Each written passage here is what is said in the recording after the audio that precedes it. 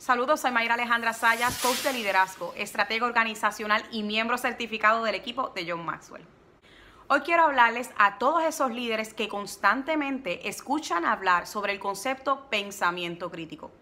Les invitan a desarrollar el pensamiento crítico, pero no les explican cuáles son los componentes de un buen pensador crítico.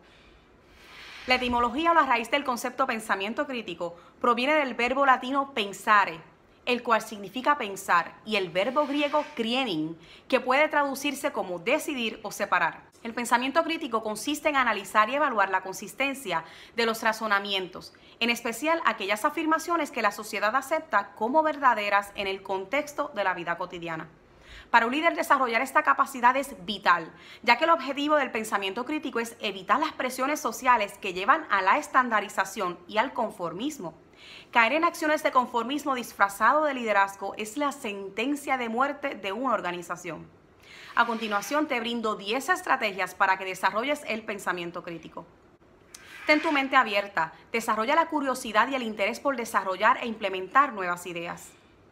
Formula preguntas y plantea inquietudes que tengas al respecto al desarrollo de tu organización, tu estilo de liderazgo o el desempeño del equipo. Infórmate, busca información nueva, desarrolla el hábito de la lectura, observa el desarrollo en tu entorno y haz entrevistas informales a tus colaboradores. Sustenta tus decisiones con la información que tienes. No supongas. Compara la información en diferentes fuentes y momentos. No uses solo los datos al momento.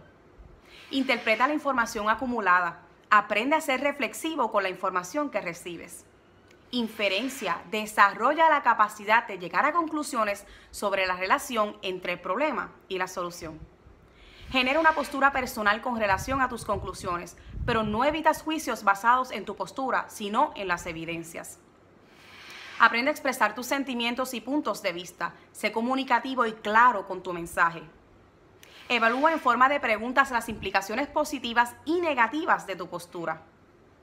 Desarrollar la capacidad del pensamiento crítico en tu vida no solo te ayudará en tu vida profesional, sino que aprenderás a ser más sabio al momento de relacionarte con otros y de dar soluciones a situaciones que se presentan en tu ambiente, utilizando la inteligencia emocional sin que te cause estrés o te afecte.